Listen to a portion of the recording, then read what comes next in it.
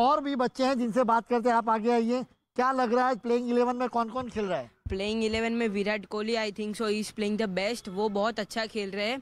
और जो हार्दिक पांड्या है मैं उनको सपोर्ट करूँगा क्योंकि वो हमेशा अग्रेसिव खेलते हैं हमेशा पाकिस्तान के सामने। बिल्कुल और भी कुछ लोग हैं उनसे बात करते हैं मैम करवा चौथ की बात कर रहे थे आप तो पहले क्रिकेट देखेंगे करवा चौथ हाँ जी नहीं नहीं हम लोग पहले क्रिकेट देखेंगे पूजा बाद में होगी अभी खाना पीना सब दूर हो गया है अभी पहले क्रिकेट देखेंगे पहले। सर आप भी तैयार होके आए हैं पूरे इंडिया इंडिया इंडिया बस इंडिया खेल रहा है और इंडिया जीतेगा।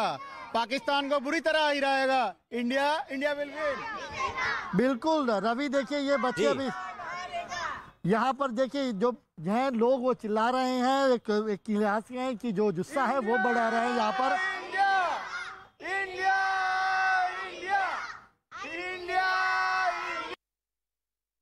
चाहे बच्चे हों बुज़ुर्ग हों जवान हों हर कोई आज इस मैच को लेकर काफ़ी एक्साइटेड नज़र आ रहा है। ज़ाहिर सी बात है क्योंकि भारत और पाकिस्तान का सिर्फ़ एक मैच नहीं होता है क्योंकि ये जब दोनों टीमें मैदान पर आती हैं तो माहौल युद्ध की तरह हो जाता है। 22 गज की जो पिच है, वो रणभूमि की तरह नज़र आती है। गेंद और बल्ले में वार और पलटवार ज़बरदस्त देखने को मिलता है। आपको बता दें कि भारत और पाकिस्तान के बीच आज होने वाली मैच में टीम इंडिया की जीत के लिए पटना में भी हवन पूजन किया गया। किस तरह की तस्वीरें नज़र आई, देखिए। भारत और पाकिस्तान के बीच आज दुबई में मैच है और इस मैच में इंडिया की जीत हो, इसको लेकर देश के कई हिस्से में हवन और पूजन का आयोजन किया गया है और हम अभी मौजूद हैं पटना के वीर कुंवर सिंह पार्क में, जहाँ पर एक तरफ़ प्रैक्टिस चल रहा है मैच का तो वहीं दूसरी तरफ़ यहाँ पर जो खिलाड़ी हैं और खेल प्रेमी हैं, वो यहाँ पर बैठकर और हवन और पूजन कर रहे हैं। तस्वीरों में भी आप साफ़ तौर पर देख सकते हैं। इनका सीधे तौर पर यह कामना है कि इंडिया जीते और जीतकर मैच फिर खिलाड़ी वापस लौटें। तो इसको लेकर यहाँ पर ये हवन और पूजन का आयोजन किया गया है। पीछे में तिरंगा भी है, खिलाड़ी भी हैं। हवन में क्या कामना है? कामना यही है कि आज भारत और पाकिस्तान के बीच जो मैच है उसमें भारत जीत दर्ज करते हुए वर्ल्ड कप के फाइनल में जाए और विश्व कप का टी ट्वेंटी विश्व कप का कप उठाए और फाइनल मैच के दिन मैं आपके माध्यम के सा, सा, माध्यम से यह कह देना चाहता हूँ कि जिस दिन भारतीय टीम फाइनल में जाएगी उस दिन सुबह से लेकर के शाम तक जब तक मैच चलते रहेगी हवन का आयोजन किया जाएगा और उस समय भारतीय टीम को विश्व कप जीतने की हम कामना करेंगे। अभी हम लोग जो पाकिस्तान है जो नापाक इरादा के साथ हमेशा आतंकवादियों को बढ़ावा देते हैं या क्रिकेट का कंस है। भारत और पाकिस्तान के बीच जब जब मैच बंद होता है उसके पीछे आतंकवादियों का हाथ होता है। जो हम चाहते हैं कि नापाक इरादा के साथ जो पाकिस्तान गतिविधि में शामिल रहती है क्रिकेट का कंस है वैसे कंस का सर्वनाश हो।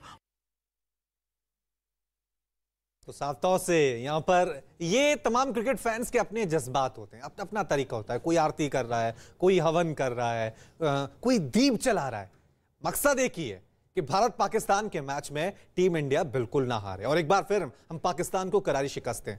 देश के अलग अलग शहरों का माहौल हम दिखा रहे हैं। एक बार फिर भोपाल का रुख कर लेते हैं। अ, मनोज तस्वीरें दिखाएँ क्योंकि अब महज कुछ घंटे बचे हैं इस मुकाबले के लिए। देखिए भारत पाकिस्तान के मैच के लिए यहाँ पर कोच आए हैं बहुत देर से बच्चे इंतज़ार कर रहे थे कि पाकिस्तान भारत के मैच में आपको क्या दिख रहा है कि मतलब भारत की कौन सी खूबी है जो आज का मैच जिताएगी? भारत पहली बार तो हमेशा से वर्ल्ड कप में पाकिस्तान पे हावी रहा और पिछले कई सालों से अपन देख रहे हैं कि आ, पाकिस्तान पे अपन जो इंडिया है वो एज क्रिकेट में हमेशा से ऊपर ही रह रहा है। बाकी बैटिंग का जो पार्ट है, इंडिया का हमेशा ऊपर ही रहता है। और इस बार तो आप देख रहे हैं, थोड़ा सा हमारा बॉलिंग अटैक भी जैसे लास्ट ईयर रिस्ट स्पिनर्स थे, क्योंकि फॉरेन वाली सॉइल थी तो रिस्ट स्पिनर्स रखे थे। इस बार रिस्ट स्पिनर ना रख के फिंगर स्पिनर्स रखे हैं, क्योंकि जो दुबई वाला जो मीन्स जो वहाँ पे जो है, उसमें फिंगर्स स्पिनर्स से ज़्यादा अच्छा सपोर्ट मिल सकता है। दैट्स वाई अश्विन भी इंक्लूड हुए हैं। तो मुझे ऐसा लगता है, साथ में चक्रवर्ती एक मिस्ट्री बॉलर भी आए हैं। नए जो एकदम से पाकिस्तानी और सबके लिए ऑलमोस्ट नए हैं। तो फ़िलहाल मैं इंडिया पाकिस्तान के लिए बात करूँगा कि हमारा मेन हमेशा से एडवांटेज रहता था बैटिंग बट दिस टाइम मुझे लगता है कि है। बॉलिंग देखिए जो कोच कह रहे हैं कि बैटिंग के साथ इस बार बॉलिंग भी है। हम बच्चों से पूछते हैं जो आपके सर कह रहे हैं कि बैटिंग तो अच्छी होती थी भारत की इस बार तो बॉलिंग भी अच्छी है। बॉलिंग अच्छी है लेकिन उन्होंने चहल को नहीं लिया ये उनकी सबसे बड़ी गलती मानी जाएगी। उसकी जगह उनने उसको राहुल चहर को खिलाया है। उसकी जगह वो चहल को खिला सकते थे। वो एक उसके पास अच्छा एक्सपीरियंस भी है खेलने का। ज़्यादा मैचेस खेल राहुल चहर अभी नया नया है। तो उसकी जगह चहल को खिला सकते थे। अब की बार टीम के चयन में 11 आप अपनी तरफ़ से भी सजेशन ज़रूर भेजना। तो जो ये तो राहुल को आप मैन ऑफ़ द मैच की बात कर रहे थे और ये तो मतलब यहाँ पर कह रहे हैं कि गलत। अब उसका मानना है वो अब हम क्या कर रहे हैं उसमें रोहित शर्मा की क्योंकि पाँच सौ भी है टेस्ट टी ट्वेंटी में। अभी उनका फॉर्म भी अच्छा है उन्होंने अभी ट्रायल मैच में साठ रन भी बनाए थे इसलिए उनका फॉर्म अच्छा है इसलिए वो आज बना सकते हैं सौ भी बना सकते हैं। विराट के सौ और रोहित के सौ पूरा मैच ही मतलब डिफाइन हो गया फिर नहीं तो विराट की सौ नहीं रोहित सौ बना सकते हैं। विराट का ही फॉर्म अच्छा नहीं तो उनके बारे में कुछ नहीं कह सकते। नहीं रोहित का फॉर्म भी अच्छा है तो सौ बना सकते हैं। तो आज विराट को मतलब आप टी ट्वेंटी में आप चाह रहे हो ना कि आज फॉर्म वापस आए? हाँ, फॉर्म वापस आना चाहिए उनका और सौ बना हम तो यही चाहते हैं। सबसे ज़्यादा उम्मीद आपने किससे बांधी? जी मैंने तो विराट कोहली से माना है। हम्म, क्योंकि वही एक अच्छे प्लेयर हैं जो लगातार रन बनाते हैं अपनी टीम के लिए। हाँ और कैप्टनसी भी अच्छी- अच्छी जज करते हैं और वो मुझे लग रहा है कि आज वही मैन ऑफ़ द मैच बनेंगे और टीम की जीत का कारण वही बनेंगे। टीम की जीत का कारण विराट कोहली बनेंगे। Man of the match Virat Kohli बनेंगे। देखिए भोपाल के क्रिकेट के फैंस इस तरह की बातें कर रहे हैं।